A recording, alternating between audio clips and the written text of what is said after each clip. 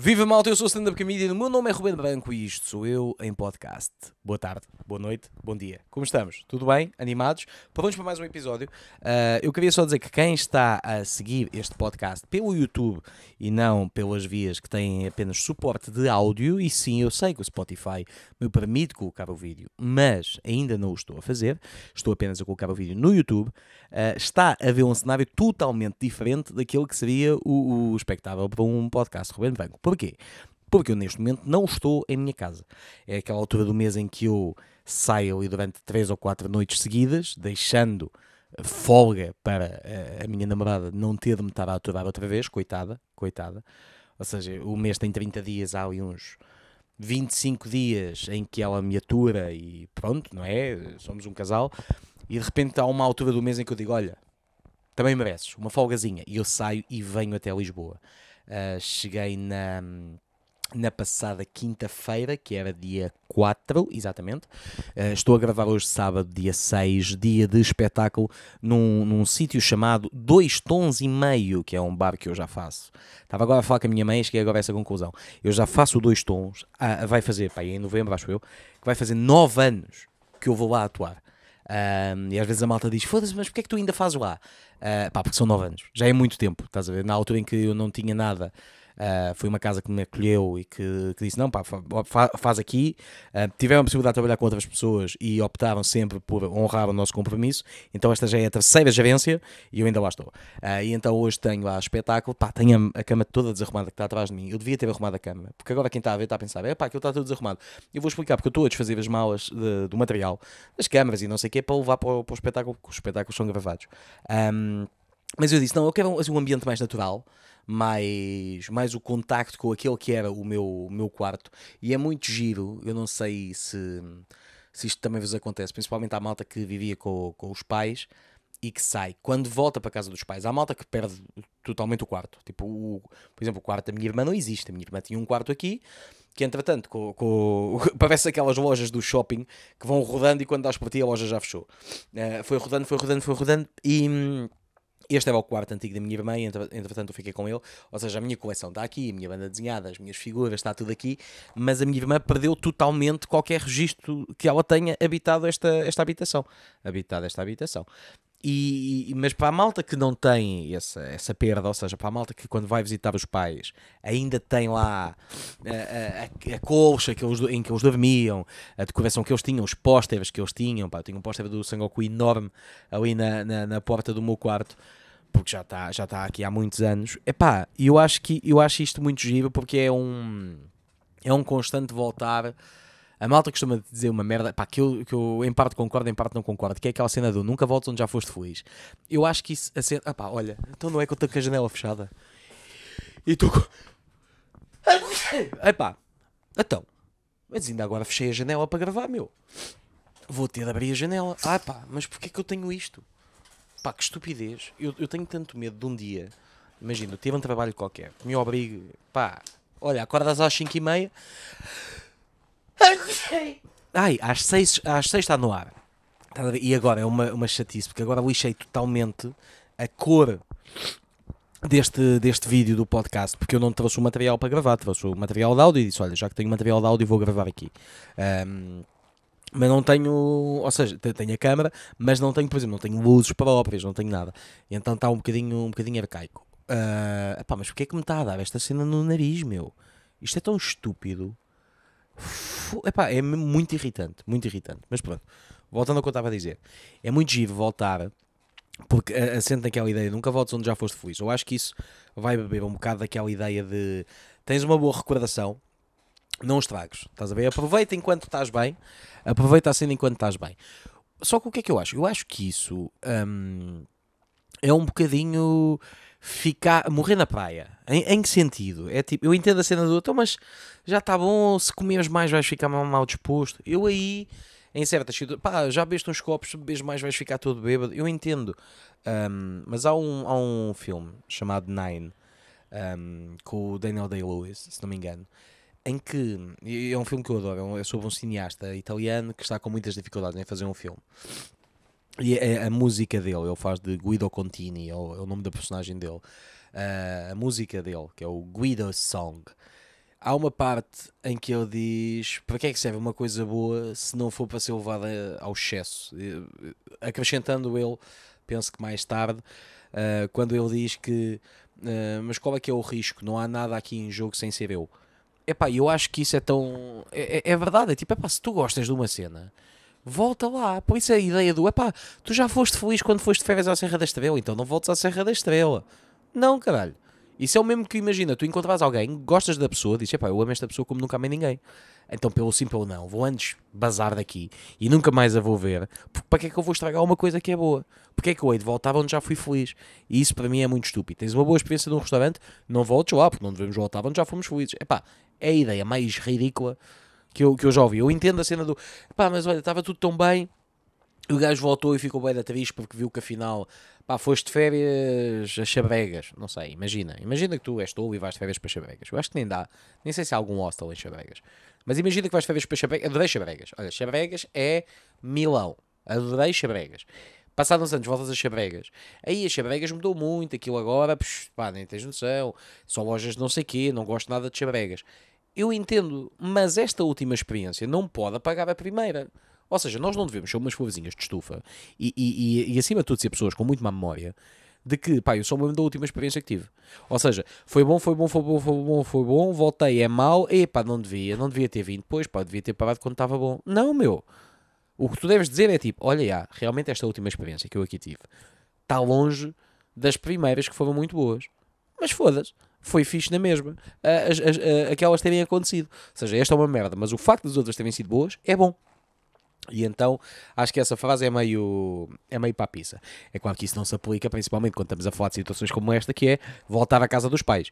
Não é tipo, olha, já fui feliz em casa dos meus pais, então pelo sim, pelo não, não vou voltar. Não, é claro que vais, vais voltar porque é, que é a casa do, dos teus pais.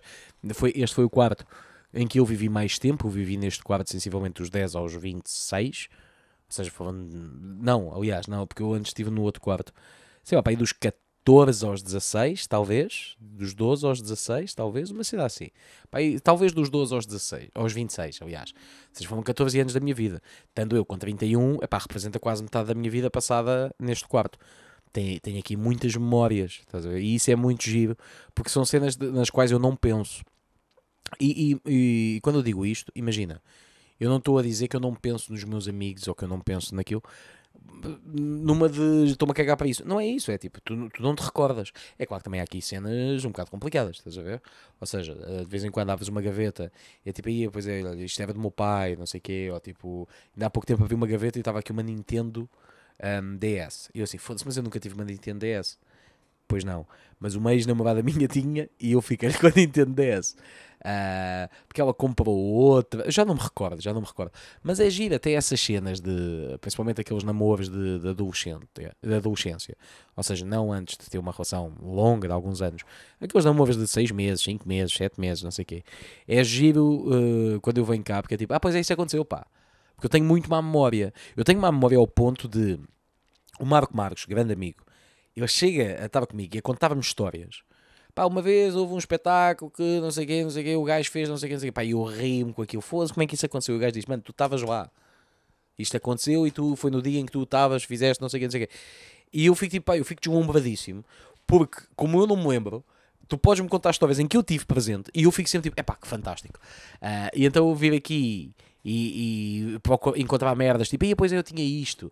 Estás a ver? Imagina, olha, por exemplo, agora estou a olhar aqui para, para uma, umas prateleiras que eu tenho aqui no quarto, onde está uma grande parte da minha coleção de banda desenhada e estão ali alguns exemplares da revista Playboy. Porquê? Porque um, no final daquelas edições estava uma crónica chamada Do Bairro para a Mansão, assinada pelo, na altura, uh, auto-intitulado Rei do Underground Ruben Branco. Sim, porque eu já fui cronista da. Um, da Playboy em 2018, 2000, finais de 2018 inícios de 2019. Ou seja, é uma parte do, do meu processo, até profissional, atenção, que eu não, não exploro muito, mas sempre que eu venho cá sou confrontado com isso. Por exemplo, ainda há pouco tempo eu encontrei aqui também, aliás, acho que está debaixo daquelas revistas até, um guião um, de comentário de um. Não é documentário, é guião de espaço, comentário um, de um programa de wrestling na Eurosport que eu fiz uma vez. Porque quem comentava aquilo era o meu querido amigo David Francisco, que agora está, está a viver do wrestling em, em Inglaterra. Um, e que ele ia sair, ou não sei se foi mesmo na altura que ele ia sair já para, para a Inglaterra ou se ia só para outra coisa, e houve a possibilidade de eu comentar um programa da, da WWE no Eurosport. Só aconteceu uma vez, não há registros disso, eu não encontro essa merda. Uh, epá, mas aconteceu, estás a ver? E, e às vezes no meu dia a dia, não é no meu dia a dia, não é tipo, todos os dias eu acordo e lembro-me das merdas que fiz, não é isso. Mas tipo, eu já nem me lembro de comentar isso. Eu, quando se fala de wrestling, eu nunca digo que eu comentei um programa para a Eurosport, mas efetivamente aconteceu. E então voltar aqui à casa da, da minha mãe, neste caso a minha mãe, porque o meu pai já faleceu, um, acaba por ser um, um recordar de, de, coisas muito, muito fixe, cenas que eu fiz, pessoas com quem eu me dei, ou, ou, que entretanto deixei de me dar, porque eu não faço muito a cena do deixaste de te dar com a, com a pessoa, retiras tudo tudo aquilo que era da pessoa sai. Eu entendo é que, imagina, estás-me a falar do final de uma relação.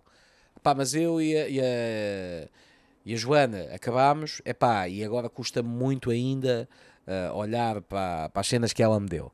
É pá, ok, eu entendo, estás a ver? Mas no meu caso eu gosto até de guardar as coisas. Eu gosto de, gosto de ter, porque é tipo, mano, imagina, lá está, a minha cena com aquela pessoa acabou eu já não gosto daquela pessoa, aquela pessoa já não gosta de mim, ou gosta de mim, mas eu não gosto dela, ou eu gosto dela e ela não gosta de mim. Mas é tipo, aquilo que nós vivemos foi fixe. A menos que tu me digas, toda a experiência que eu tive com aquela pessoa foi má, pá, não guardo nada de bom, ou o final foi tão mau que apagou tudo o que há de bom, isso é uma coisa. Uh, agora, quando é tipo, mano, é uma relação que simplesmente com o tempo foi passando, afastámos-nos e o caraças, pronto, ela agora tem a vida dela, eu tenho a minha. Então, por que raio é que eu haveria de negligenciar uh, os meses ou anos investidos naquela relação? Estás a ver? Então eu não, não, não deito as cenas fora. Pá, às vezes pode já não estar à vista, porque imagina, uh, eu, eu, quando andava com a Raquel, eu tinha uma foto com a Raquel aqui no quarto. Um, tirámos uma foto, já não sei onde. Estava numa moldurazita, estava aí, eu, não, eu nem liguei essas merdas, mas estava aí, pronto. Uh, entretanto, nós terminámos. Eu, eu tive, tive outras pessoas, tive, tive com a Alexandra ali pelo meio também, que foi olhando para as relações mais longas. Um, e, e, pronto, com ela não, não tinha nada, e agora já estou com a Miquela há 5 anos.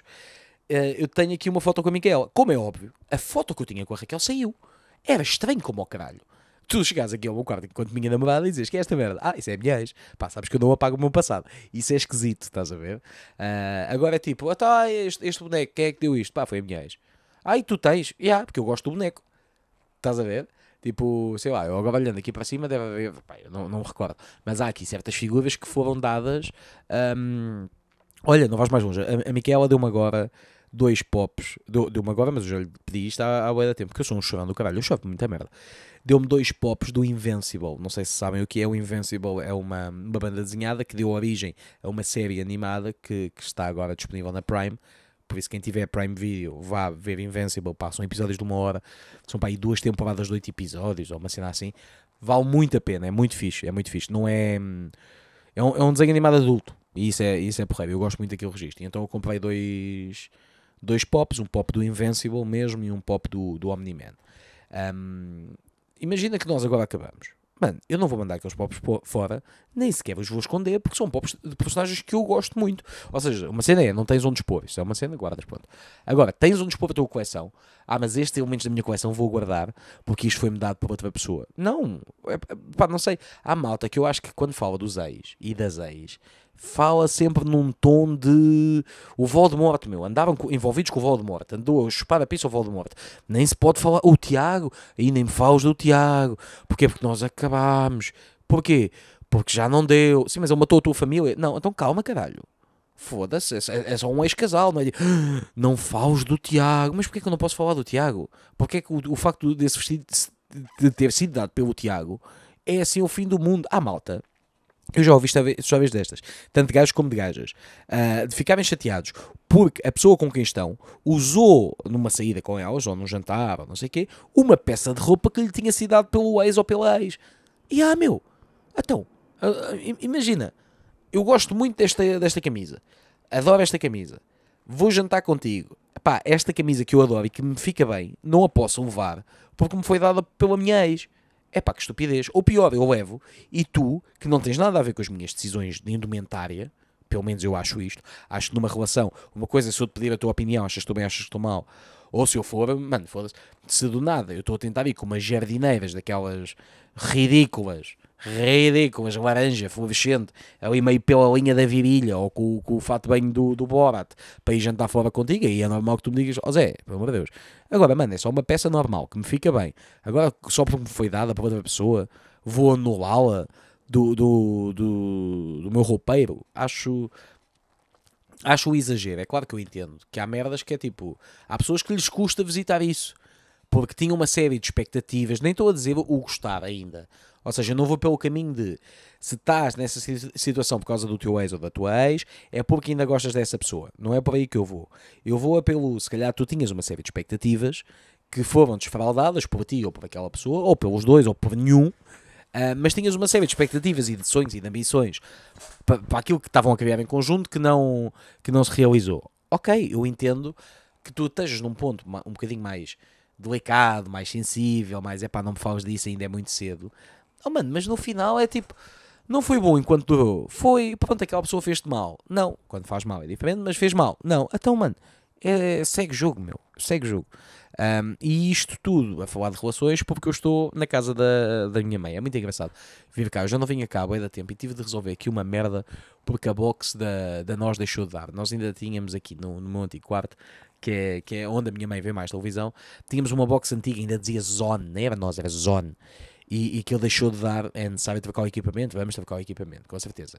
Uh, então eu aproveitei que estava cá em Lisboa e vim cá e vamos trocar o equipamento. Vou ao Olivais Shopping, anti, aliás, antigo Olivais Shopping, atual Espaço, e vou à loja da Nós. Adivinha, fechou a puta da loja da Nós. E eu, ai o caralho, mas eu sou um turista na minha cidade. Pelo amor de Deus, é claro que eu sei que há aqui uma loja da Nós. Puta, andei corredor a corredor, parecia um maluco. Eu só olhava para as merdas e eu assim, foda-se. Não há aqui nenhuma loja da Nós. O que é que eu pensei? Se calhar fechou no sítio em que eu estava à espera e abriu tipo no exterior, porque aquilo tem umas arcadas onde tem os correios. Se calhar abriu lá fui a uma papelaria e perguntei à senhora: olha, peço desculpa, a loja da nós tá, tá, não, não, não tem. A fazer-me de burro, né? Também não ia dizer onde é que está. Não, foi, não tem. E ela, não. E eu, oi. Ah, mas tinha. E ela, sim. Eu, ah, então fechou há pouco. E ela, na pandemia. E eu fiquei, olha o tempo é que eu já não venho aqui. E não é como se eu tivesse imigrado do outro lado do mundo, maluco. Eu venho a Lisboa duas vezes por mês, às vezes, às vezes até mais. E, e, já não vou lá há tanto tempo que não conseguia perceber que a loja fechou. E eu está-se bem, mas olha, estou aqui nos Olivais, vou ali à Bela Vista, que é o bairro ao lado, uh, que lá há outro shopping e lá tem a loja da nós. Arranque Pingo Doce da Bela Vista. Nem sabem, fechou também. À cona da mãe. Pronto, andei lá à procura, à procura também não tem. Pronto, vamos embora. Fui para, para o Vasta Gama hoje. 40 minutos no Vasta Gama. Eu estou farto de shoppings, meu. Estou farto de shoppings. E eu sei que há malta que está a ouvir isto e que trabalha em shoppings. Uh, porque eu hoje estava aí para, para, para o shopping, estava acho que é o Vasta Gama, e estava a comentar com a Micaela que estava uma fila enorme. Uh, porque o acesso para o parque de estacionamento do Vasta Gama é meio merda, tem umas rotundas antes. Então há sempre trânsito. Antes de tu conseguires entrar para o parque, há tipo uma rotunda e semáforos e o caralho, é tipo, foda-se, já estou a ver a entrada, mas primeiro que lá chega é uma merda. Mas pronto. Uh, e estava a dizer, pá, tá, aqui está muita gente, ela, mas fila para entrar no parque. Eu, não, aqui à volta, pá, porque isto é sábado, a malta não faz um caralho e sabe que o, ar, que o, o shopping tem ar-condicionado e acabam a ir para lá. Ao ponto da séria, eu sei, eu trabalho num shopping. E eu fiquei, eu sei que tu trabalhas num shopping, mas é, é, é a malta que vai para os shoppings, e é, é aquilo que eu queria chegar. Eu sei que muitos de vós trabalham em shoppings, e é tipo, mano, aquilo é um formigueiro autêntico. Epá, eu acho que há malta que vai ao shopping com, pá, sem nada para fazer. E atenção, eu também já fiz isso. Eu, eu, se calhar muitos de vocês sabem, eu adoro shoppings porque eu acho que um shopping representa um, parte da cultura, nem que seja local. Imagina, na zona da Expo, então, que é toda muito ligada uh, ao mar, não aos descobrimentos, mas a tudo isso tu olhasses para, para o aspecto do pavilhão Atlântico, atual Mel Arena, ou Altice Arena, ou caralho que ele se chama, acho que já voltou para o Mel Arena, um, o, o, Oceanário, e tu tens um centro comercial chamado Vasco da Gama, pá, que agora, eu por acaso não olhei para cima, não me apercebi, mas antes tinha sempre água a correr por cima. Tinha tipo uns guichadores, tu olhavas para si que estava sempre a chover, tipo agosto, 30 graus, está a chover. Não, aqui é que parece que está, tinha essa, essa, esse aspecto. Eu acho mesmo que os shoppings que, os centros comerciais ajudam a representar o momento, ou pelo menos o momento da sua construção, ou a, a, zona, a zona à volta. Ou seja, eu gosto de ir ver os shoppings, mas eu não vou ver os shoppings, ou, ou mesmo quando eu vou tipo ao, ao Norte Shopping, só para ir, olha, vou, vou à FNAC, vou a uma loja aqui, vou a uma loja ali, está feito. Mesmo quando eu faço isso, sem ter de comprar nada em específico, eu não faço velocidade de passeio enquanto caminho dentro do centro comercial. E é isso que me irrita bastante. Que é, eu, eu estacionei no menos 3 porque aquela merda estava cheia. E o tempo que eu demorei do menos 3 até ao zero, a andar pelas escadas e fechar o carro e não sei o quê, e que eu demorei dos tapetes rolantes até à loja da nós, que não é assim tão longe, foi o mesmo tempo. Porque, mano, tu tens de estar constantemente a, a fazer diagonais porque há malta que vai, vai, vai para o shopping, mano, e diz: Eu não posso dar mais do que 20 passos por segundo. E vão, e depois é, parece que estão a pedir a um pé para, para o outro avançar. Tipo, olha, podes avançar se faz favor. E a malta, aí não sei, deixa ver. Aí será que eu consigo avançar? Olha, vou tentar, peraí, aí, peraí, deixa-me ver. Aí, peraí, não sei o quê. Mano, e depois vai a puta da família toda, maluco. Vai o pai, vai a mãe, vão as filhas ao lado. E do nada tu estás tipo, tu desvias de uma pessoa e do nada tens tipo um tronco humano comprido um corredor humano do caralho, tu dizes, mano, e agora bate nesta pessoa, paro e volto para a fila onde estava, eh, tento correr para passar aqueles 5 pessoas que estão a vir na minha direção antes que elas passem. É pá, mano, foda-se, devia haver de vez em quando uma malta, pá, assim, estás a ver aquelas, aquelas merdas que a malta fazia quando era puto? Aquelas canetas Bic que tu retivavas o interior e fazias bolinhas de papel e que espias e. Pá, essa merda. Devia haver uma equipa formada só para pessoas dessas Estás tá, no shopping, estás a andar em velocidade passeio, está um filho da puta lá em cima. Pá, no pescoço. E tu foda-se que é esta merda, estou a andar devagar. E a malta começava a acelerar. Estás a ver? Ou como, como havia os, os, polícias chineleiros, estavam com o pipi, bora, bora, bora, bora, bora. É a mesma merda, meu. Devia haver malta nos shoppings, a mandar a malta dos, que está a andar nos shoppings, andar. Porque às vezes a malta esquece. Eu acho que a malta está a andar e fica, estou a fazer o quê? Ah, estou no shopping, pois é. Não, tu tens de andar porque tu estás a importunar as pessoas que precisam de fazer alguma coisa. É que já é normal. Imagina, eu demorei 45 minutos para trocar um equipamento que eu já sabia, tipo, liguei para, para a linha de apoio, não, é só entregar a box e recebe a nova. Pronto, era só isto. Demorei 45 minutos, porque tive imenso tempo à espera, o gajo teve de preencher uma série de merdas lá na ficha. Eu entendo tudo isso. Epá, porque olha, o, é, o atendimento está assim, é, há muita gente para ser atendida e a empresa tem muitos protocolos. Está tudo. Dou isso de borla. O que eu não dou de borla é a quantidade de malta, mano, que para para ver merdas que eu fico tipo, meu, não estás a olhar para nada, meu. Há pessoas que estão a andar e param, olha-me esta merda, param a olhar uma para a outra no meio do fluxo do shopping, estás a ver? A ter uma puta de uma conversa. Como se fosse esta merda fosse um jardim em que tu estás a passear, maluco. Aí, mano. Foda isso é a única cena que eu fico mesmo tipo, tu estás-te a cagar para as pessoas e depois é a merda do parque, do shopping Porquê é que a malta não consegue olhar para as putas das linhas e estacionar bem, mano?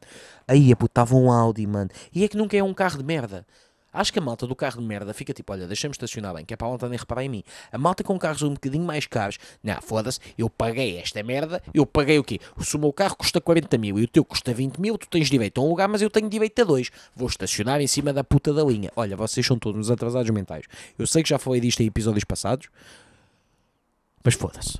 Bem, este episódio vai ser um bocadinho mais curto porque eu tenho de ir para o, o dois tons, mas tudo bem.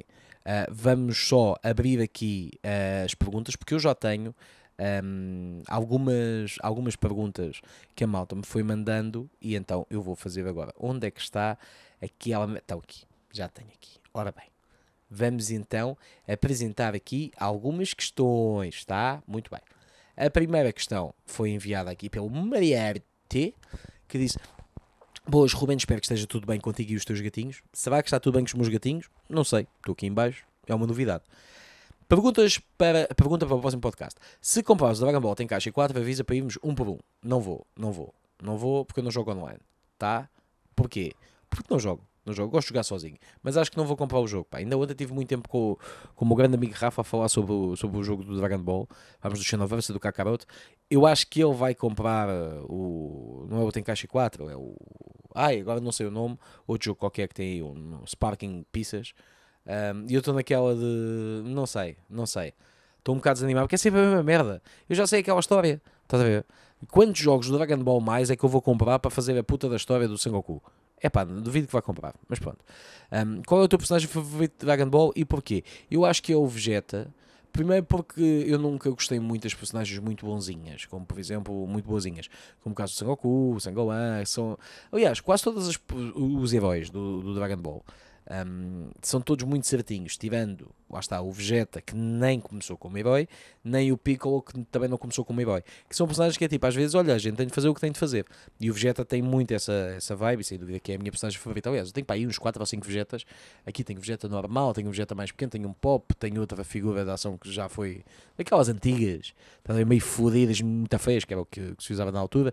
Tenho um Pop do, do, do Vegeta com, com o Scouter, tenho um pop do, do de Vegeta que está ali atrás, tenho o Vegeta em Osaru, por isso tenho, por acaso agora que eu estou a olhar, foda-se, tenho boé Vegetas aqui a olhar para mim neste momento.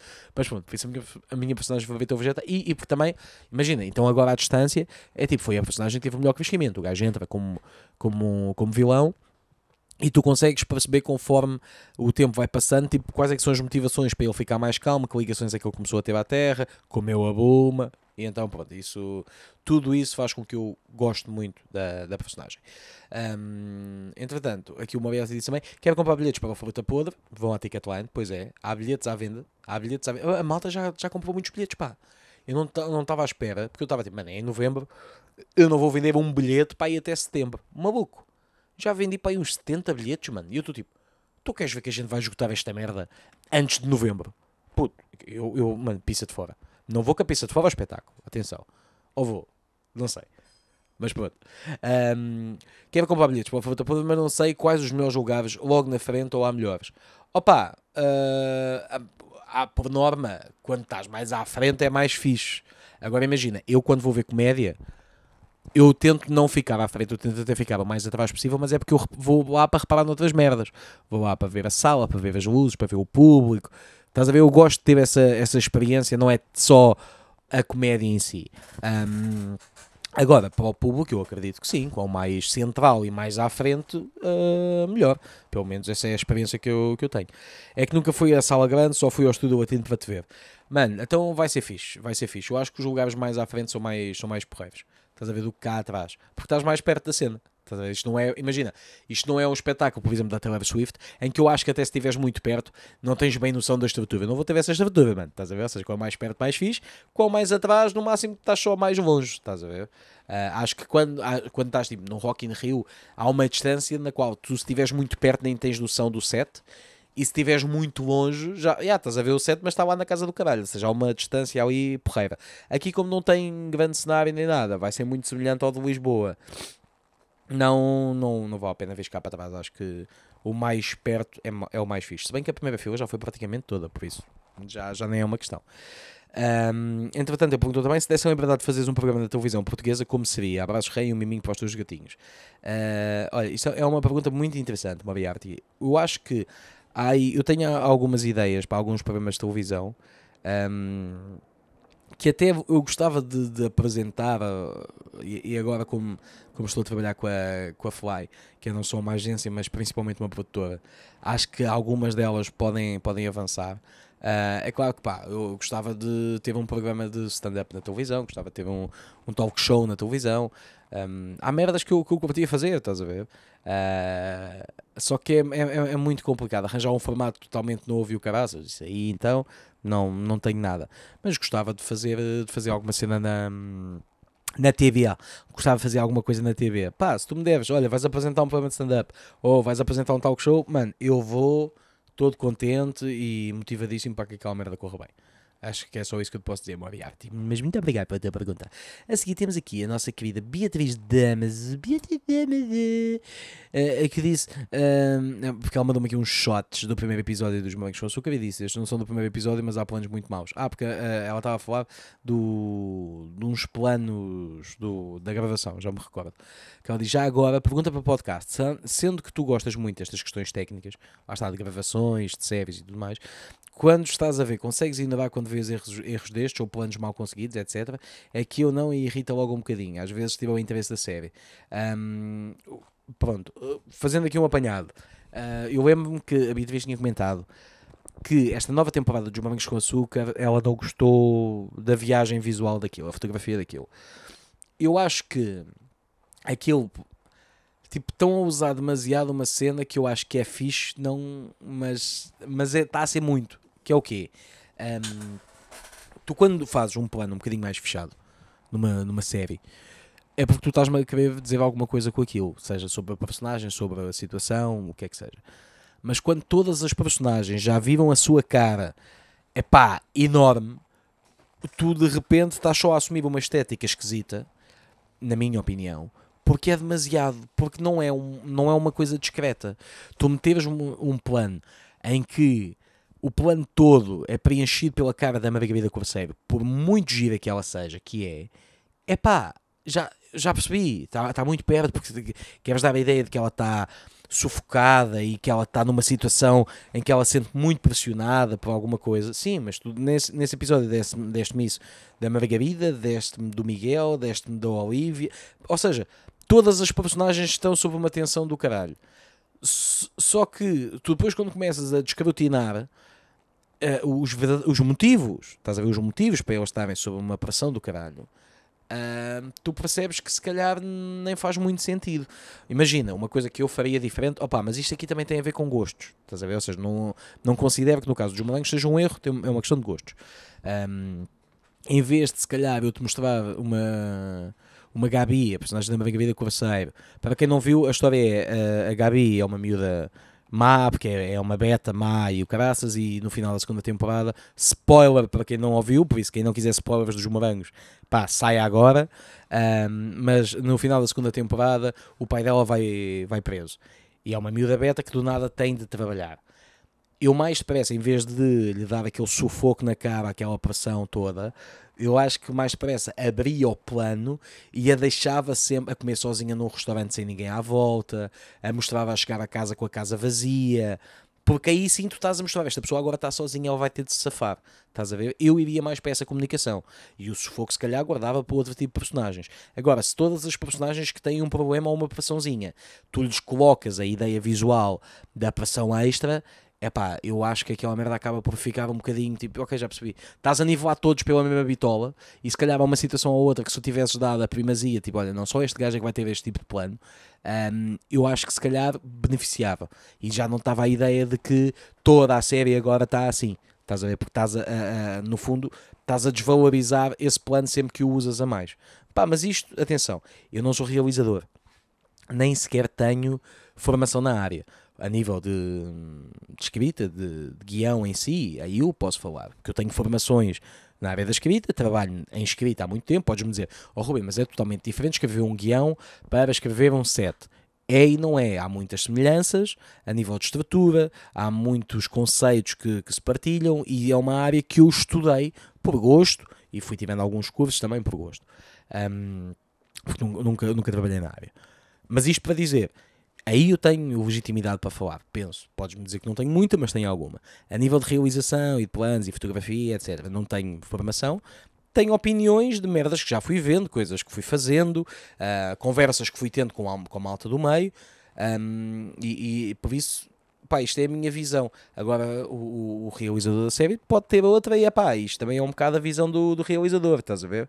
Uh, uma cena que a minha televisão tem, que eu não gosto muito, por exemplo, tem um modo qualquer filmmaker, tipo, entra na Amazon Prime e do nada ela muda-me as cores para ficar mais próximo daquilo que o, que o, que o realizador queria. Porquê é que eu não gosto? Pá, eu vejo mal, há, certas, há certos momentos em que eu vejo mal e eu gosto mais de. Que aquela merda esteja com uma cor meio, meio padrão e não tão detalhada, se calhar. Posso estar a, a, a alterar a experiência que, que, que, o realizador pretendia que eu tivesse. Opa, de qualquer forma fica mais confortável para mim, estás a ver? Um, mas pronto, isto para dizer, eu não tenho essa sensibilidade, tenho total, tenho alguns detalhes, tenho alguns apontamentos, mas não tenho um, conhecimento total. E a gente acaba por ter de ver um bocado pelos olhos do gajo, que é a proposta do gajo. Estás a ver? Ou seja, aí já nem é certo nem é errado. É tipo, opá, eu não gosto do que o gajo fez. Pronto. Isso aí é outra merda, estás a ver? Há muita música que eu não gosto, mas que é, boa, é, é, bem feita. A música tecnicamente está bem feita, mas eu não gosto. Que é diferente da música ser uma merda e toda a gente curtir. Porque há músicas de merda que eu ouço e digo, pá, isto é uma merda, isto é super básico, isto não tem aqui nada, pá, mas eu gosto. Pá, tranquilo, vamos embora, maluco. Vai abanar o cabelo, ver que usa abanar, está tudo, maluco. Não há mal nenhum nisso. Não podes é dizer que isso é uma música muito bem construída, como uma não é, estás a ver? Um, mas, e, pá, a arte é subjetiva e a visão artística do realizador não é só uma questão. Um, técnica também te quer passar uma informação da, da, da, da, personagem, como estávamos aqui a dizer, das emoções que um plano pode passar ou não. Ou seja, eu não gostei da abordagem que eles tiveram, mas foda-se. Uh, sinto que agora já estou às voltas. Vou parar. A próxima pergunta é aqui da nossa queridíssima Catarina Rocha, que acho são duas perguntas. A Catarina disse: Qual foi a coisa mais difícil que tiveste que fazer em uma gravação ou espetáculo? Um, acho que nunca houve nada muito difícil. Acho que o que eu tive até hoje, mais difícil mesmo, foi um espetáculo. Epá, eu odeio falar desta merda, mas foi o espetáculo mais difícil da minha vida. Dois, três. Vamos falar três. Uh, por ordem. Um, houve um espetáculo muito difícil que eu tive este ano porque uh, os meus gatos estavam doentes e nós não sabíamos o que era porque tinha chegado a casa tipo no dia anterior ou dois dias antes e eles tinham vomitado aquilo que parecia ser um vómito mas com sangue felizmente pá, não era nada, fizemos exames e está tudo bem estava tudo bem, já foi há 5 meses ou seja, já mais que passou aquilo deve ter sido, eles devem ter comido alguma merda que tivesse uma cor nós não sabemos o quê, um, e aquilo manchou, estás a ver? Porque não era sangue em si, eles estavam, estavam todos saudáveis. Imagina assim, na altura eram quatro gatos, pá, uma batolada a fazer análises a tudo, a ver tudo, a ver o xixi, a ver o cocó, a ver o caralho, mas pronto, felizmente correu tudo bem. Um, mas eu fui para um espetáculo, era eu, o João Mendes e o João Dantas, e foi. penei um bocado, penei um bocado porque a minha cabeça não estava lá. A minha cabeça não estava lá. Uh, foi no início deste ano, foi em janeiro. A minha cabeça não estava lá. Um, depois houve outro espetáculo muito difícil também, porque o meu avô estava no hospital. Epá, tipo, ele estava no hospital e a gente sabia que, que ele, a possibilidade dele ficar bem era tipo 95%, mas está no hospital. Estás a ver? Uh, ou seja, destabiliza sempre. O meu avô tinha dado uma queda uns meses antes, um, ele, como toma uma medicação para o sangue não coagular, Tipo, gajo de, pá, teve um derramezinho, uma cena pequenita, estás a ver? Só que aquilo, como não coagula o sangue, aquela merda começou, o gajo da altura tinha aqui uma.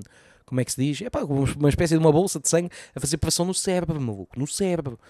Tipo, o meu avô, um gajo super ativo, cheguei ao pé tinha dificuldades a falar, a andar, mano, passei uma tarde inteira a chorar, vim de Santa Maria da Feira de propósito para Lisboa para isso uma tarde inteira a chorar e o caralho, mano, o gajo foi operado num dia, passado dois dias teve alta. Foi que foi tipo, fez no, fizeram no furinho, tiraram aquela merda, foi tipo, não, tá bom, a gente só precisava tirar esta merda daqui.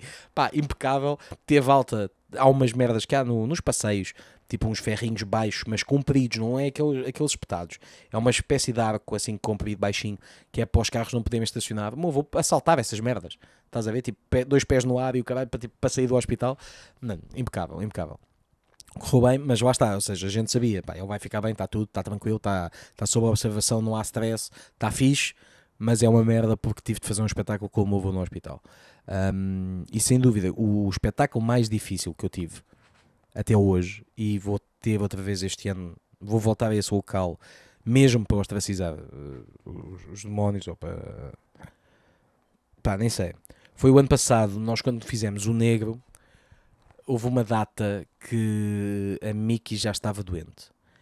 Tanto que nós fomos até, eu fui até à Aveira, tinha o Marco e o, e o comigo já, fui, ao, fui à Aveira buscar o Marco, a Miquela estava comigo no carro, entretanto tive de os deixar lá, porque a Miki estava no, no veterinário e não estava a comer, e, e ela comigo comigo, então fui dar, ou seja, arranquei de Vila do Conde para Aveiro, da Aveiro para, para o Monte Branco, que é na Epá, é na Ria da Aveira, mas eu não me lembro do nome daquilo, mas pronto, uh, que, é, uh, que é lá ao pé.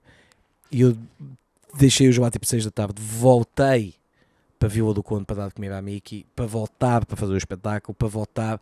Foi um dia muito cansativo e foi, foi uma merda, porque pronto, por toda a situação da, da nossa Miki foi uma situação de merda. Então esse, esse foi o meu pior espetáculo, que é, eu não queria nada, porque eu tive de deixar a Miki lá em casa, porque, eu, porque a Miki estava a piorar, e nós não queríamos deixar a Mickey sozinha. E podia partir a qualquer momento. E então eu tive de deixar a minha namorada em casa porque a nossa gata pode morrer, mas eu agora vou ir contar piadas. Foda-se. Esse, esse dia pá, foi uma grande merda. Foi uma grande merda mesmo. Um, o espetáculo correu bem, estás a ver? Mas pá, Foi uma merda, foi uma merda. Mas pronto, uh, ou seja, isto, isto é sempre uma merda, sempre que me fazem este tipo de perguntas. Eu, eu podia só dizer, eh, não sei, e continuava bem disposto. Não, pá, eu, eu entro aqui num buraco negro. Eu não sei se vocês já viram o Digimon, eu adoro Digimon, já disse isto muitas vezes. A primeira série, no final da primeira série, o, o Matt, que é o, que é o Digi escolhido do Gabumon, que é o azul, vamos lhe chamar, o azul. Um, ele, ele, ele, passa num, num, num caminho, é muito interessante para ver esses episódios, porque aquilo está a retratar a depressão que mostra o Matt a entrar numa gruta sozinho, em que ele não vê os amigos e não sei o quê, e depois tu percebes que a gruta nunca existiu, era só na cabeça dele. Um, ou seja, ele estava-se a isolar.